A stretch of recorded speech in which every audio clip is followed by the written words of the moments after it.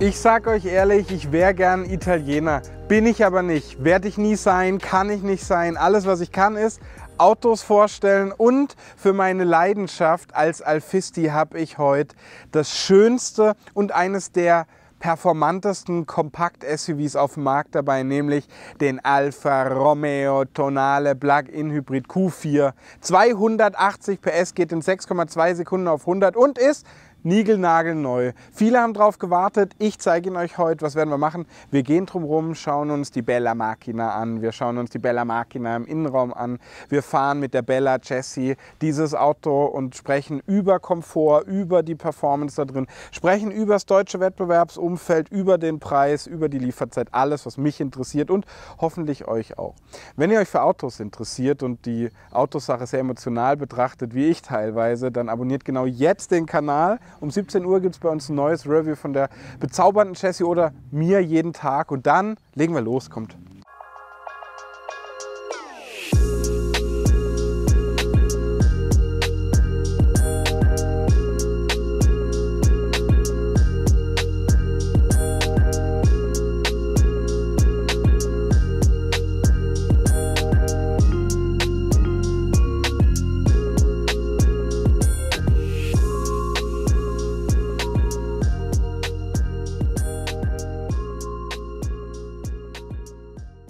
Ja, ganz am Anfang, bevor es losgeht, spreche ich über unseren Kooperationspartner GoLeasy. Was machen die?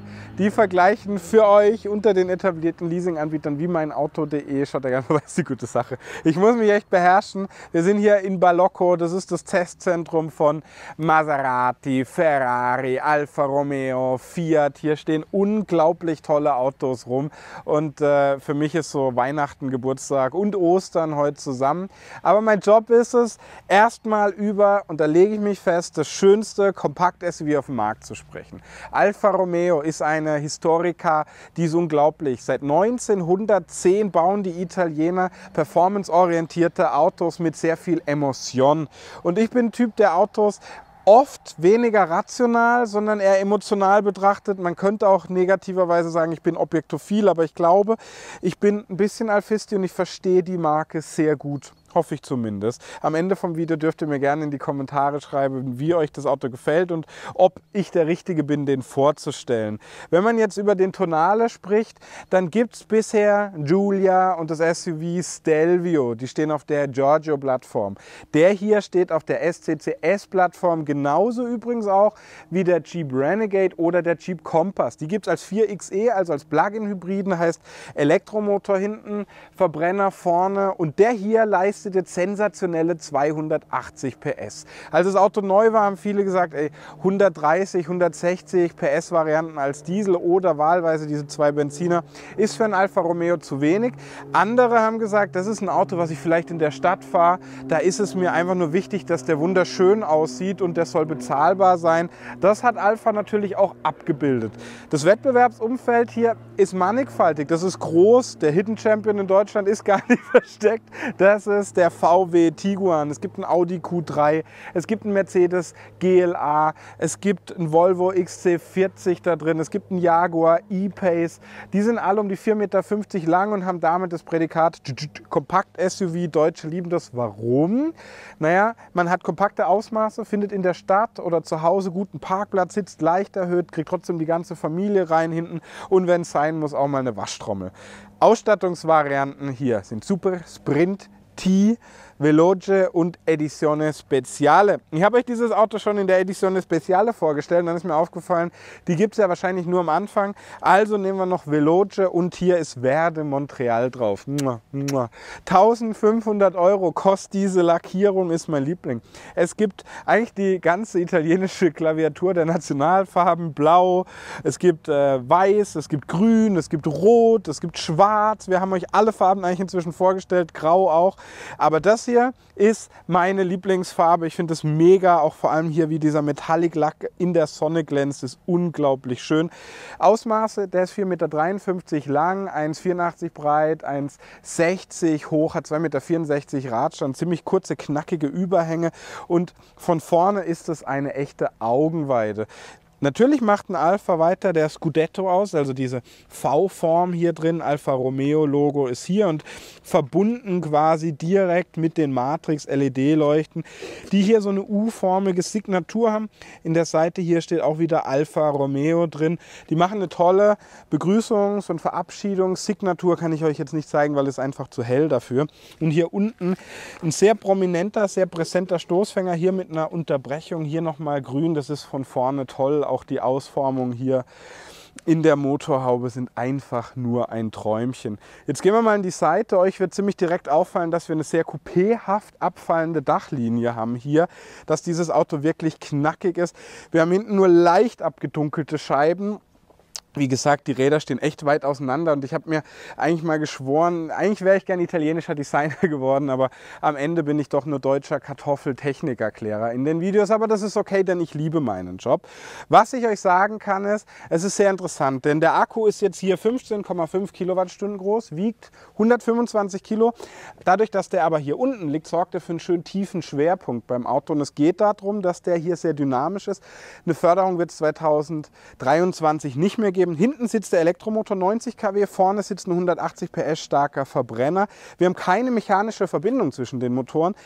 Ein bisschen leicht synthetisches Fahrgefühl, was die Allradverteilung angeht, aber ein schönes Torque-Vectoring hier drin, kommen wir später bei der Fahrt zu. Federn sind adaptiv, da streite ich mich mit Jesse immer drüber. Was Schönes, wir haben 18, 19, 20 Zoll Felgen und Alpha ist sehr stolz, dass man diese 20 Zoll Felge hier drauf hat. Ein typisches Alpha Felgendesign mit diesen Tellern hier drin, Alfa Romeo Logo hier. Äh, wir haben hier die Brembo drauf mit rotem Bremssattel, wunderschön. Wir haben kein Plastik hier drumherum, sondern schön lackiert in so einem Grau. Veloce steht hier, in dem Schweller haben wir nochmal den Einleger, der das Auto auch schön breit macht. Schwarze Spiegelkappe hier, leider kein Glasdach, das hätte ich mir gewünscht. Bügeltürgriffe, Jesse sagt dazu immer Bügeltüren, finde ich einigermaßen lustig. Zu was wir jetzt allerdings kommen, ist dieses kleine, süße Schlangenmuster hier oben drin. Das ist so eine Mischung aus dem Alfa Romeo Logo unten im Stecker und zeigt einfach, dass man dieses Auto an der Steckdose laden kann. Der Akku sorgt für eine Reichweite von bis zu 69 Kilometern nach WLTP. In der Stadt sorgt er dann für 82 Kilometer und hier kann man den laden, den Allrad. Und das ist jetzt interessant, denn der Akku hier ist mit bis zu 7,4 kW ladbar. Hier dran dann in 2,5 Stunden voll. Mit 3,5 kW oder 3 kW wäre, glaube ich, in 5,5 Stunden voll, was ganz interessant ist. Wenn wir jetzt ans Heck gehen, finde ich es mega, weil da hinten steht ein Jeep. Jeep-Testgelände ist hier auch Offroad-mäßig und das Heck ist die Schokoladenseite vom Auto, weil das ist einfach präsent, sportlich. Man kann hier an der Seite dann mit Benzin betanken. Insgesamt sorgt das für eine Reichweite von 600 Kilometer. Mein Highlight hier hinten ist diese Leuchte, die auch wieder diese U- oder Schikanenform hier drin hat, die sich dann im Logo in der Mitte trifft. Tonale steht hier unten drauf. Dachkantenspoiler hier hinten präsent, aber nicht prollig eben. Trifft sich alles schön hier unten dann in diesem Diffusor mit echten Endrohrblenden wieder. Und das Auto macht, da war ich sehr überrascht, einen echt tollen Sound. Rückfahrkamera ist hier, das ist schon echt äh, äh eine richtige Bella Machina, eine echte Schönheit.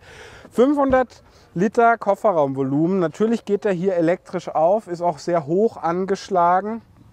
Und jetzt schaut mal hier rein. Wir haben eine relativ hohe Ladekante, ist allerdings okay. Was ich schön finde, ist, dass man das hier so einspannen kann. Habe ich im anderen Video vergessen oder vielen bisher zu zeigen. Jesse erinnert mich dann immer dran. Ladekabel findet hier äh, schön Platz. Wir haben auch beim Plug-in-Hybriden keine Einbuße im Kofferraumvolumen. Ich mache mal jetzt hier noch die Hutablage raus und dann haben wir hier eine Durchreiche für die Skifahrer. Zeige ich euch gleich noch von der anderen Seite. Wir haben keine Haken hier hinten, um die Rückbank umzuklappen. Und was ihr jetzt seht, ist so eine naja, ganz kleine Ladekante da hinten. Ich glaube, das machen wir noch schnell um. Genau. Aber das ist echt okay. 12 Volt Steckdose haben wir dann hier. Schaut gerne mal rein. So.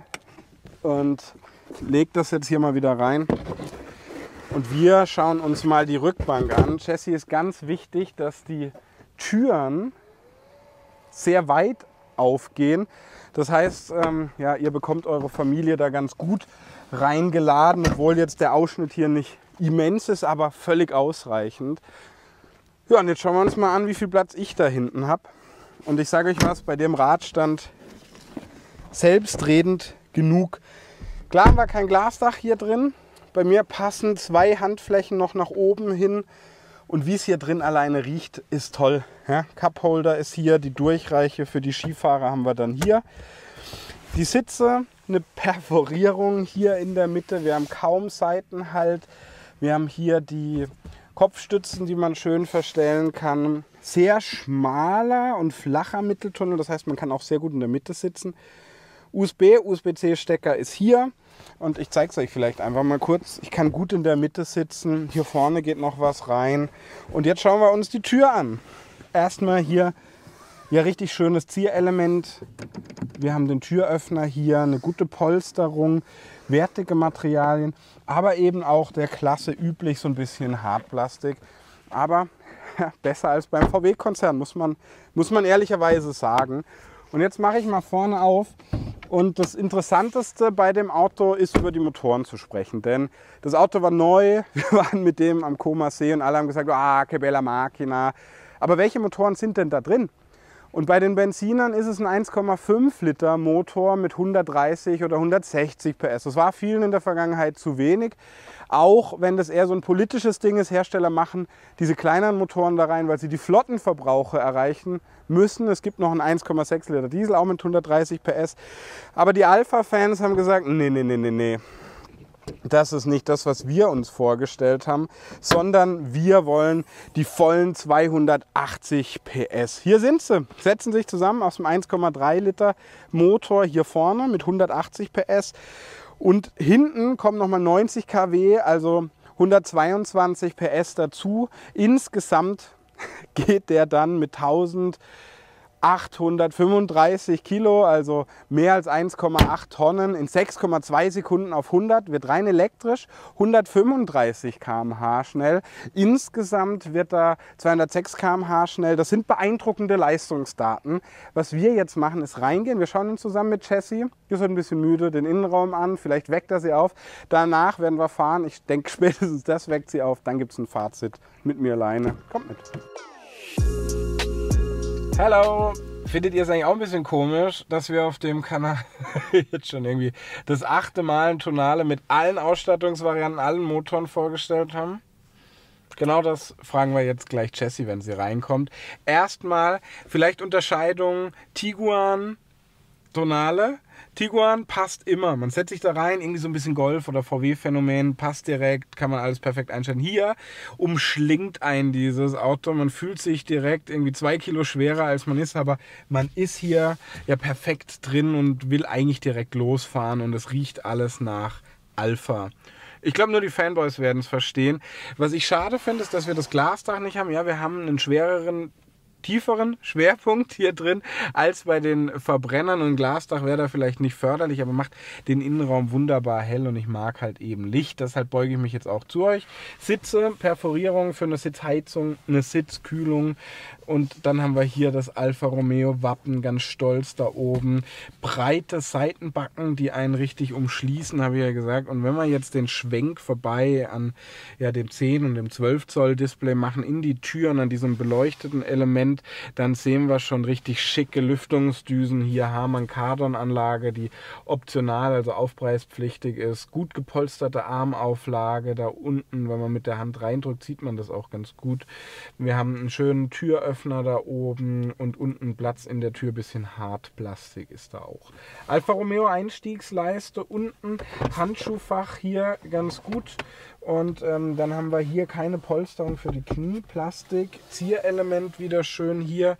Und in dem Auto wandert alles von hier irgendwie runter über die wichtigsten Knöpfe für die Klima, die Lüftungsdüse hier, die so mit Klavierlack hinterlegt ist, vorbei an der induktiven Ladebuchse. Und sorry VW, aber im Vergleich zu euch funktioniert diese induktive Ladebuchse hier drin einfach, die ist toll im Sichtfeld auch, man kann da aufs Handy schauen. Wir haben hier den DNA-Schalter, kommen wir gleich zu. Gangwahlhebel ist hier. Nicht so ein kleiner Tockler wie bei VW, sondern ein richtiger Gangschalter noch. Kann man jetzt gut oder schlecht finden. Ich mag die kleinere Variante eigentlich lieber, weil sie weniger Platz wegnimmt. Das Einzige, was denn hier drin Knopf- oder Hardware-seitig, glaube ich, unterscheidet, ist der E-Safe-Modus, weil man will möglichst nah am Verbrenner sein. Hier Drehregler für lauter leiser. So sieht er aus, der Alfa Romeo Emotionale, beziehungsweise tonale Schlüssel, Cupholder hier. Bisschen Platz hier, gut gepolsterte Armauflage. Und jetzt kommt die Bella Jessica hoffentlich rein. Wie geht's? Gut. Bisschen müde, wie Jan schon gesagt hat. Bist du gesprächig heute? Geht so, gell? Geht so. Aber ich bin am Start. Okay, das ist so wichtig, Jessie. Schau mal, wenn wir beide Displays da drauf bekommen, mache ich jetzt hier mal die Zündung an. Und wenn es um den Alfa Romeo Emmentionale geht, dann seht ihr erstmal hier, wie das reinfährt. Da vorne, wie das reinfährt. Und wenn man da wieder ausmacht, Nice. schau mal auf beiden Seiten. Wow, vor allem Richtig hier auf gut. der ist das richtig gut. Ich mache jetzt die Zündung mal an. Und jetzt sprechen wir über das Lenkrad. Jessie, wie gefallen dir diese riesigen Schaltpedal hier? Ich finde sie ein bisschen drüber, aber eigentlich geil. Und vielleicht noch zur Frage, die Jan gerade gesagt hat. Zur Frage, die Jan gerade gesagt hat, warum haben wir euch jetzt schon acht Videos gezaubert? Weil wir jede Motorisierung gezeigt haben und jede Farbe und jede Ausstattung. Das gehört dazu. Als warum? als Fisti. Als Fisti. Warum haben wir das denn gezeigt, Ja, das weil- weil- Alfizante? Weil wir äh, euch zeigen wollen, was Alpha alles kann. Weil wir auf die Dinger stehen, Mensch. Ach so, also, das hatte ich nicht ja. Das stimmt auch. Guck mal, Perforierung hier im Lenkrad, unten leicht abgeflacht. Alfa Romeo hier, Start-Stopp-Knopf hier. Was mir nicht so taugt, ist, dass man den Tank da hinten aufmachen muss. Das vergesse ich nämlich immer, weil ich glaube, wenn man das Auto besäße, dann würde das auch funktionieren. Ich drücke jetzt nochmal hier, oder lasse es uns vielleicht einfach mal anmachen hier, dass ich euch da alles schön zeigen kann. Ihr hört auch die Geräuschwelt. Assistenten hier. Dann können wir das digitale Cockpit hier steuern und das finde ich eigentlich eher ganz spannend, weil ihr habt hier die Geschwindigkeit vielleicht einfach oder eine Karte hier, in die ihr auch reinzoomen könnt. Verbrauch habt ihr hier, die Assistenten habt ihr hier. Hier habt ihr so eine Rekuperationsanzeige, Bremse, Beschleunigung kann man also auch was lernen da drin. Und hier habt ihr den Fahrmodusschalter und je nachdem, ob ihr neu- neutral ob ihr in dem Modus hier seid oder in dem Dynamik-Modus, ändert sich auch die farbliche Hinterlegung da drin. Hier habt ihr nochmal alles für die Dämpfer. ESC geht hier aus. Und ähm, ja, jetzt sprechen wir vielleicht einfach mal direkt über den Sound. Hätte ich nicht erwartet. Ich auch nicht, ganz ehrlich, krass. Also, was Schönes hier erstmal, wenn ihr mh, hier seid, habt ihr die Medien, ihr habt hier alles zum Komfort dann, äh, könnt die Klima hier auch steuern, Sitzheizung, Sitzkühlung. Navi ist hier, und was ich am Navi sehr mag, vor allem mh, ja bei der Art von Auto, ist, dass ihr äh, die Ladestation suchen könnt. Ihr könnt ähm, ja hier einfach zum Beispiel sagen, suche, machen wir es mal über Alexa. Hey Alexa, navigiere nach Mailand. Die Wegbeschreibung zur Adresse Mailand wird abgerufen. Das ist schon mal nicht schlecht. Alter, Alexa ist hier drin, die navigiert uns, finde ich richtig gut. Ich, Ich höre hoffe. manchmal auch gern Alexa. Ja? Warum? Die kann viel mehr. Du müsstest, du müsstest den ganzen Tag Fragen beantworten. Ja, stimmt. So, und jetzt? Ja, dann gehen wir es halt mit der Hand ein. Mai. Sie erreichen Ihr Ziel um 14.45 Uhr. Ach. Geht schon. Guck mal. Hier Mailand, mal Pensa vielleicht einfach. So, und dann könnte man hier einen Stopp hinzufügen oder einfach hier nach Mailand fahren. Und jetzt ist interessant, weil äh, ihr seht schon mal, dass dieses System sehr, sehr schnell ist. Und was man dann schön zeigen kann hier ist, dass ihr zum Beispiel die Ladestation hier suchen könnt, ähm, was wirklich praktisch ist und dann seht ihr, wie schnell das ist. Ich weiß nicht, ob das Leute das Auto nehmen zum Schnellladen, aber wenn man das hier wegmacht, oben, um 14.34 Uhr. könntet ihr hier auch die Tankstellen suchen, was vielleicht noch praktischer ist. Und was cool ist, man hat es hier entlang der Route oder man kann eben auf der Karte, in der Nähe des Ziels und so weiter. Also man kann das noch filtern, je nachdem, wo man eben So. Ladesäule haben möchte. Oder Sehr gut. Home hier. Könnt auch frei belegen, Widgets hinzufügen, wie zum Beispiel MyCar. Ihr habt hier Apple CarPlay, Android Auto, aber das Spannendste kommt eben hier. MyCar ist hier, schaut mal, wie schön das aussieht. Ihr seht hier auch einen Querschnitt vom Auto und hier seht ihr den DNA-Schalter, was sich verändert. Motor, Drehmoment, Gaspedal, äh, Schaltung, hier von der Sechsgang-Wandler, hier drin E-Traction, Lenkung, ähm, hier N und hier der mehr oder weniger elektrische Modus, der dann nur heckgetrieben ist. Das ist schon interessant. Ich habe da alles zum Trip, könnt dann auch so ein bisschen sehen, was er verbraucht. Das ist wirklich ganz unterschiedlich, je nachdem, wie man fährt, was man fährt. Und interessant ist die E-Hybrid-Anzeige hier, weil ihr habt hier die Leistungsflussanzeige, Fahrhistorie habt ihr hier, ihr habt Ladeprogramme, die ihr hier reinmachen könnt, den E-Safe-Modus. Da könnt ihr über den Verbrenner dann ähm, die Batterie laden oder eben beim Rekuperieren, jetzt bin ich hier äh, aus Versehen drauf gekommen, 40, 60, 80 Prozent, äh, das ist schon gut und Ladeeinstellungen sind dann nochmal hier. Sieht man ganz gut, auch den Ladegrad sieht man. Hier habt ihr dann alles zur Leistung, zusätzliche Messgeräte, ist ja ein Performance-Auto, Steuerung, Kamera zum Beispiel. Hier ist auch ganz gut, sehen wir dann gleich beim Fahren. Aber was wir jetzt machen ist... Fahren.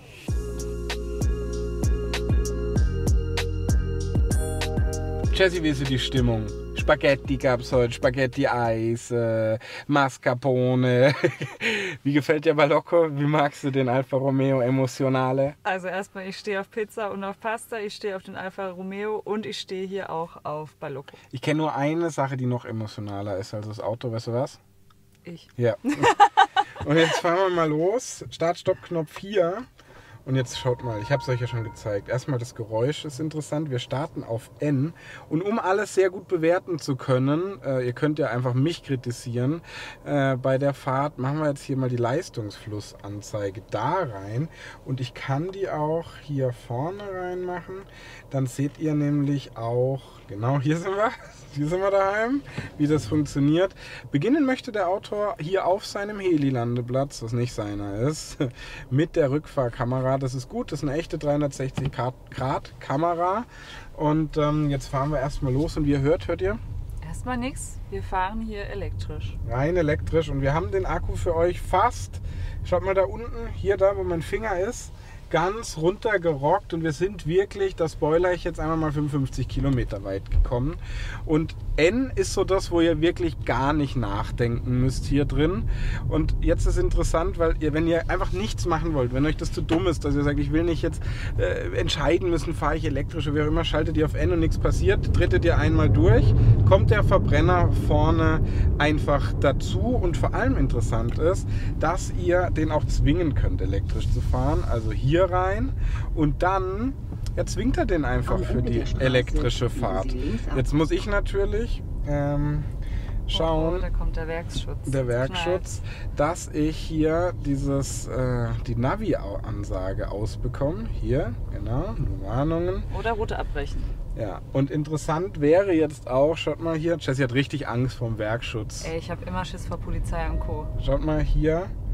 Ist nicht verfügbar gerade, aber in niedrigen Geschwindigkeiten glaube ich schon. Ist der Akku wahrscheinlich wirklich äh, leer. Ja, 0, 0 Kilometer steht da vorne auch. Genau, und jetzt guck mal hier, E-Hybrid ihr immer noch hier rein elektrisch, rein heckgetrieben.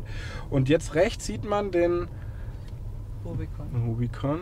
Was ist das für ein Dach? Ihr seht dieses Auto in Rot, in Grün, in Blau. Und jetzt schreibt mir gerne mal in die Kommentare, was euer Liebling wäre. Welche Farbe würdet ihr nehmen? Welche Farbe würdest du nehmen, Jessie? Ich würde den grün hier nehmen in Veloce. In Genau so. Veloce. Oder Veloce, Ja, da Veloce. sind sie alle. Ich fahre extra mal für euch dran vorbei. Boah, sind die schick. Und jetzt musst du wenden. Das schaffe ich, oder? Das schaffst du ja. Und hier werden die dann halt auch geladen. Die Italiener haben auch Ladestationen. Fehlt's dir, dass man den nicht DC laden kann? Nee. Nee, ne? Weil ich finde, dass das eh nicht so ein Konzept ist, dass man schnell lädt.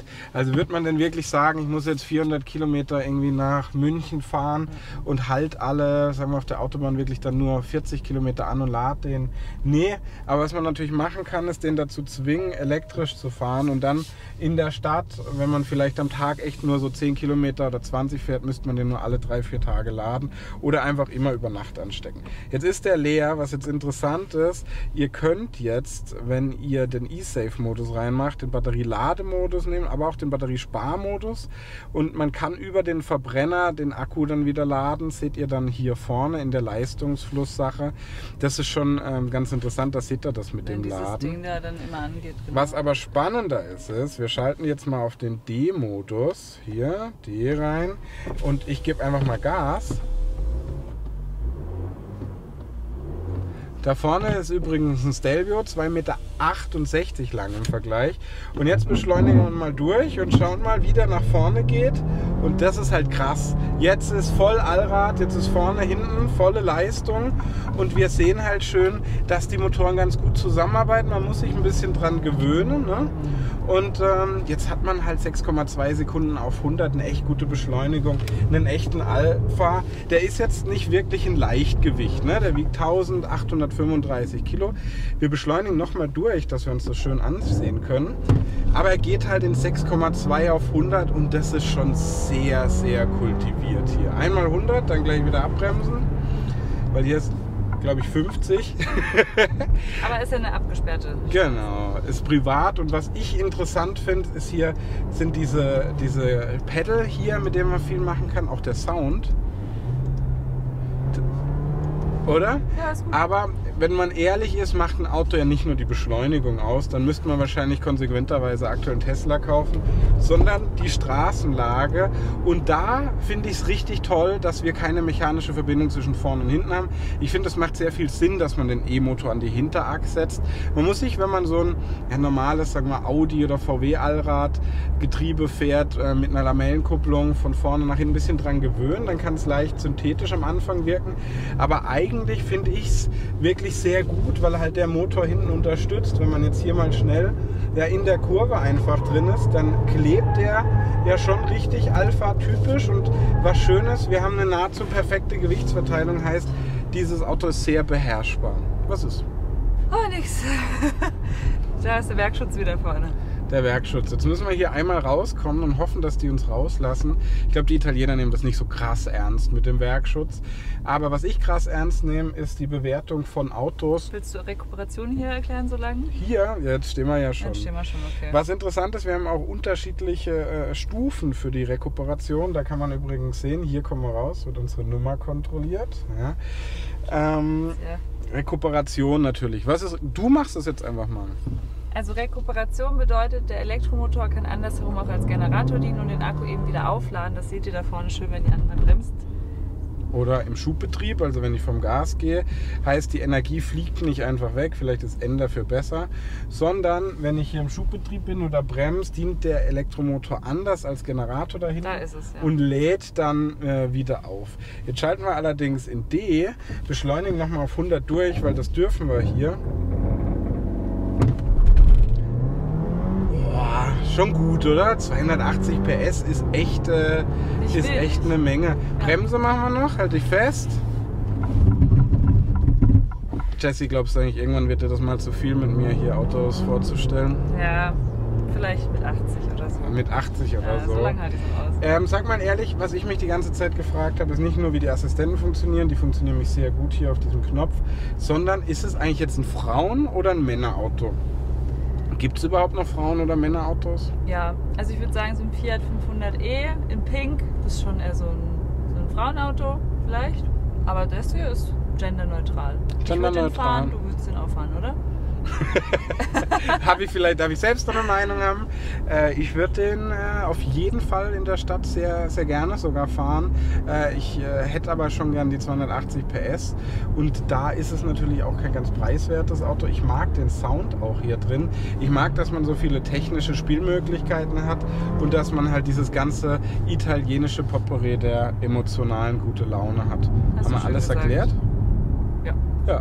Was wir jetzt machen ist una facita de mio. Oh sole Nee. mio. Also, äh, wir haben hier doch was vergessen, da wurde ich gerade dran erinnert, Reichweite. Wie weit sind wir denn gekommen? Also ich würde sagen, wir kommen 50 Kilometer weit, aber wir haben hier halt auch italienische, ich glaube 23 Grad, das ist nahezu perfekt aktuell. Und äh, Verbrauch ist sehr interessant, wenn man jetzt hier vielleicht mal am Straßenrand anhält, kann man sich das ganz gut nämlich mal zu Gemüte führen. Und das ist echt gar nicht so einfach. Erstmal, wenn man das Auto hier ausmacht am Lenkrad, sieht man dann ähm, vorne so eine kleine Verbrauchshistorie. Ja, zumindest war das jetzt mein Plan. Ja, Ah ja, genau. Ah ja, jetzt hatte ich es aber, das war schlecht, äh, zu lange, zu lange aus. Aber das ist ganz gut gelöst. Jetzt zeigen wir euch das nochmal schnell hier. Fahrhistorie, da kann man dann sehen in etwa, wie man regeneriert hat. Übrigens gibt es hier auch so ein NFT-Programm, was auch Firmen nutzen könnten dann. Und ähm, ja, was haben wir verbraucht hier beim Trip? 5,6 Liter ist natürlich gut, wenn man rein elektrisch fährt. Schafft man so unter 30 Kilowattstunden und dazwischen liegt halt alles, was dazwischen liegt. Kommt sehr stark darauf an, wie fahrt er rein elektrisch, wie langsam fahrt er, wie rekuperiert er. Nicht ganz einfach zu beantworten. Also jetzt ein O Sole Mio Fazit. Ja, kommen wir zum Fazit. Wir sind hier in Balocco und ich sage euch eins, die Gene von Alfa Romeo und die Zielsetzung wird einem nirgends, glaube ich, auf der Welt so klar wie hier. Denn die Marke, die es seit 1910 gibt, die will dynamisch sein, die will emotional sein. Und ich glaube, da war man bei Alfa Romeo beim Tonal am Anfang selbst vielleicht nicht ganz so glücklich, dass man den Kunden nicht gleich die 280 PS Version zeigen konnte. Aber man wollte erstmal die Optik vom Auto zeigen und, glaube ich, einen soliden Einstiegspreis garantieren und dann sagen nach so einem halben Jahr, BAM! Und das ist einem geglückt. Natürlich ist die Plattform vom Auto aus dem Konzern bekannt.